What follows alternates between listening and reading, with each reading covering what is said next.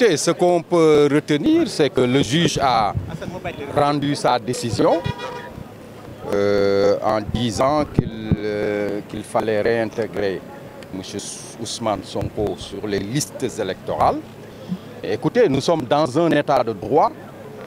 Euh, il a rendu sa décision que nous ne partageons pas parce que vous savez que cette décision a été rendue dans des conditions scandaleuses. Parce que depuis ce matin, il, est question de la récusation de ce juge-là. Donc nous étions animés d'une suspicion légitime dans la mesure où il a été constaté que ce juge-là avait un frère qui était, n'est-ce pas, adjoint au maire au, au, au, niveau de la mairie de Ziguinchor. Alors, donc, voilà un juge qui n'était pas en situation d'être impartial.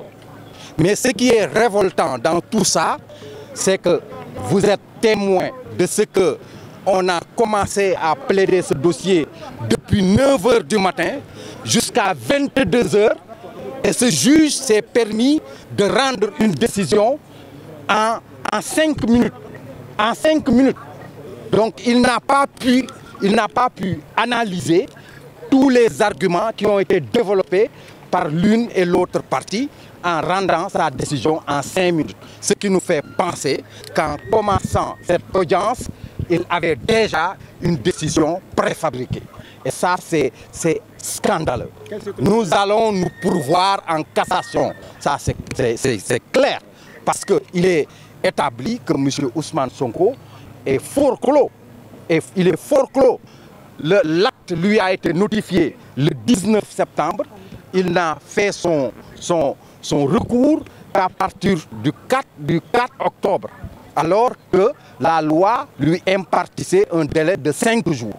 Par voie de conséquence, il était tout à fait forclos et c'est la raison pour laquelle nous allons nous pourvoir en cassation et la Cour suprême va nous départager.